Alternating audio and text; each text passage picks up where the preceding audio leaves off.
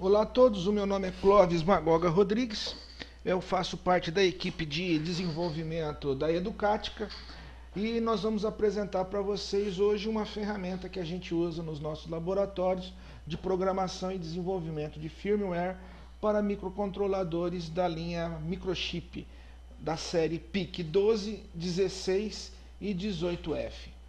A ferramenta que a gente usa no desenvolvimento, ela é baseada na linguagem PIC Basic, que é o PIC Basic Pro. Ele é desenvolvido pela empresa Microengineers Labs, é americana, para variar, né? E aqui é o site, o, o endereço do site para você fazer o download da versão demonstrativa, tá? Fica em http dois pontos barra barra mlabs.com e esse aqui é o link da versão de treinamento. Nós não vamos, nesse vídeo, falar de, de, da, da, linguagem de programação em si. Nós vamos falar, na realidade, é do gerenciador da linguagem de programação, que é o Microcode Studio. O Microcode Studio nada mais faz do que o gerenciamento da linguagem de programação e compilação do código-fonte do microcontrolador. Na realidade é o seguinte, você vai fazer digitar os comandos em BASIC, ele vai gerenciar a compilação a linkagem e, e a geração do arquivo em hexadecimal que vai ser gravado dentro do microcontrolador, tá pessoal? Então aqui nós temos o link de download do Microcode Studio e aqui nós temos o link de download do compilador, tá? Que é a linguagem PicBasic Pro. Bom pessoal, dando procedimento, vamos lá. Vamos abrir aqui o nosso editor, que já foi instalado. É, detalhes da instalação vocês podem procurar em nossos vídeos na, no setor educacional do nosso site, que vocês vão conseguir achar todas as dicas possíveis. Vamos lá, acionamos o nosso editor. Aqui a gente tem um programa padrão, que nós vamos chamar aqui de teste. Tá? Vamos fazer a gravação desse arquivo. Obviamente você vai selecionar o seu diretório de desenvolvimento, no nosso caso é o LabX, gravamos, está aqui a gravação e o, o, o cabeçalho do nosso programa ou do nosso firmware, para ficar mais, mais, mais profissional, né pessoal? Então aqui a gente vai selecionar qual é o microcontrolador que nós vamos usar. No caso nós vamos usar o PIC16F628A que é um chip de 19 pinos. Carregada a nossa tela, selecionamos o nosso microcontrolador. Presume-se que você já deu o passo anterior, que é a instalação do, do, da, do, da linguagem de programação, PicBasic. Né? E aqui a gente vai dar uma olhada quais são as versões que a gente tem aqui do compilador. Então nós temos aqui a 2.46, 2.60 e a 2.60L. Você pode instalar quantas versões quiser tá? Que o Microcode Studio vai gerenciar isso daí, tá? Então vamos lá. Um passo importante que a gente tem que dar é o seguinte, é a, é a configuração da, das nossas ferramentas. Então se você entrar aqui na opção View, Compile and Programs, Options, o meu inglês é péssimo, mas aqui eu não sou professor de inglês, tá pessoal? Então vamos lá. Aqui nós temos indicado que o compilador que nós estamos usando está instalado na unidade C dois pontos, barra PBP6. Como é que se faz isso, pessoal? Você tem duas opções. Ao instalar o Microcode Studio, você pode deixar que ele procure automaticamente, através desse botão aqui. Ou manual. Através desse botão, você vai indicar aonde está o seu compilador. Entendeu? A pasta. Então você tem essas duas opções. Linguagem de programação é o PIC Basic Pro 6. E o assemblador que a gente vai utilizar obviamente é o MPASM da própria microchip, tá? Então você tem que ter o MPASM montar, é, instalado também dentro do seu disco rígido. Qual é a sequência para você fazer essa instalação?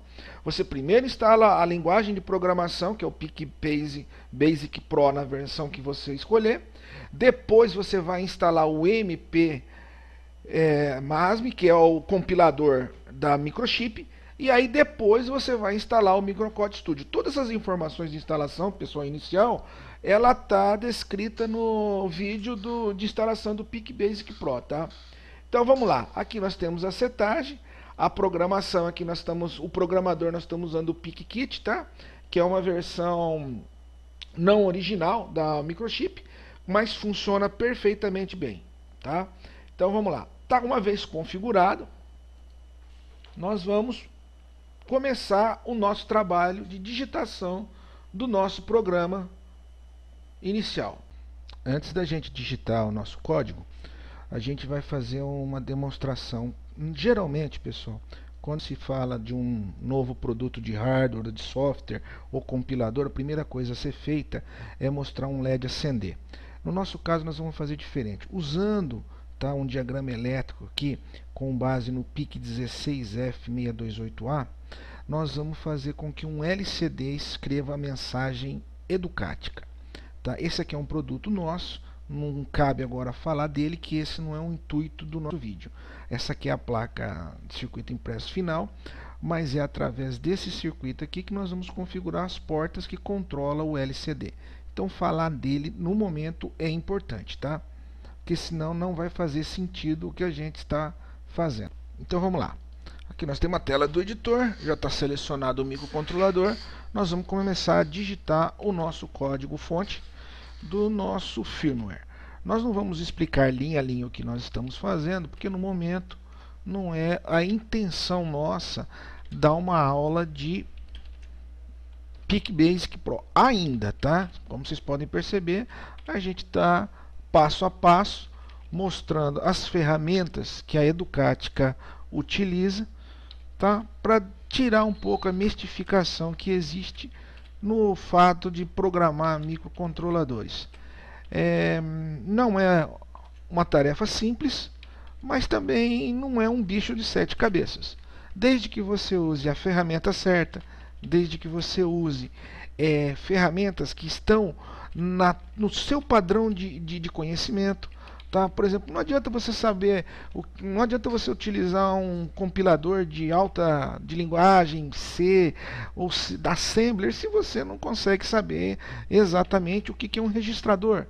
Então, a gente tem que ter certas coisas em mente que, caso contrário, você vai se desanimar, vai achar que é uma coisa extremamente difícil e acaba abandonando a profissão ou acaba desanimando nos estudos. Então, qual é a função nossa? A função nossa é produzir, fazer desenvolvimento de produtos, tá? É, de média e baixa complexidade e desenvolver produtos de, de robótica voltados para a área de, a de educacional. Então, o que, que nós vamos fazer aqui? nós vamos digitar o código fonte e fazer uma compilação. Para não judiar de vocês, obviamente, eu parei o vídeo, né? Acabei de digitar o programa. Então vamos fazer uma análise bem rápida, tá pessoal? Aqui significa o seguinte, ó, essa linha aqui, só para vocês terem uma ideia, significa que o controle de registro, tá? Do LCD trabalha com, uma, com 4 bits e está ligado na porta B do microcontrolador. Tá? O, o sinal RS bit está ligado na porta 0, tá? porta A0, e o EREG EBIT está ligado na porta A, tá? no A1. Eu não vou explicar o que, que é isso aqui agora, porque não é o nosso intuito. O CM com igual a 7, ele desabilita as portas digitais do PIC 628A. Aqui nós faz uma pausa 100, que é uma pausa de aproximadamente 1 milissegundo. Aqui nós temos o início da rotina, tá? E aqui nós temos um comando, que é o principal de todos que a gente quer chegar a explicar para vocês. LCD out $FE, nós estamos dando um limpa tela, tá? No LCD efetuamos uma pausa de, 15, de 5 milissegundos aproximadamente. Aqui nós escrevemos através do comando lcdout, entre o, o, o, a aspas aqui nós temos o texto que é oi, e isso vai ser escrito na primeira linha do LCD. Efetuamos uma pausa novamente de aproximadamente 5 milissegundos e damos o segundo comando de escrita no LCD, tá? Que é o LCD out $FE, $C0. O que, que é isso aqui, pessoal? Nós estamos mandando ele escrever na segunda linha do LCD. A primeira aqui, ó, não precisa de dar o comando, tá? Ah, na segunda a gente já deu o comando de escrita. Fizemos uma pausa novamente, voltamos aqui, ó, gota início, voltamos aqui, então ele fica nesse ciclo aqui, ó. Vem daqui e vem para cá, vem daqui e vem para cá. Tá? Então ele fica repetindo esse ciclo.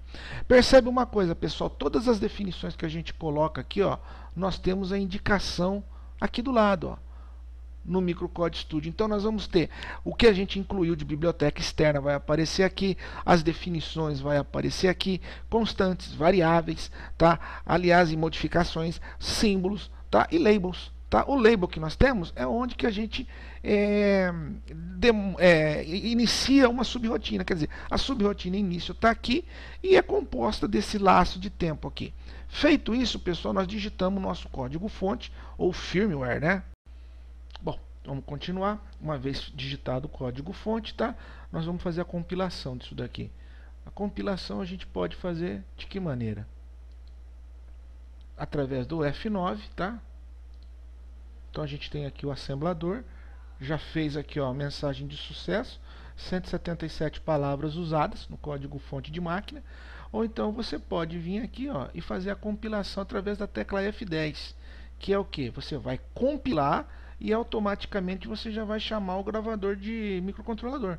Aqui nós tivemos a abertura dessa tela com erro, porque no caso nós não estamos com o gravador instalado. O nosso objetivo no momento não é esse, tá?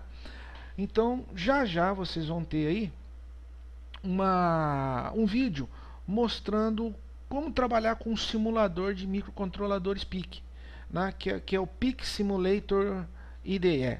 Então, é, são ferramentas que a gente vai apresentar para vocês, tá? Para mostrar uma infinidade de, de conhecimento para todo mundo que estiver interessado na área, tá legal? O processo de aprendizado, né, pessoal, a gente sabe que ele é ele é cheio de altos, é cheio de baixos, ele é cheio de problemas.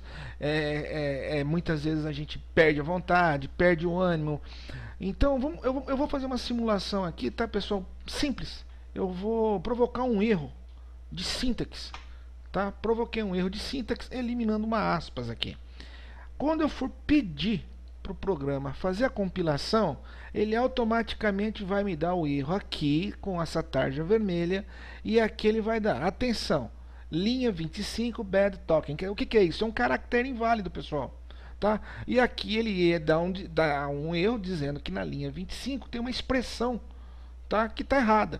Então você vai conferir, aí você vai perceber, poxa vida, eu esqueci dos aspas. Colocou as, o aspas novamente, tá? Compilou, acabou o problema.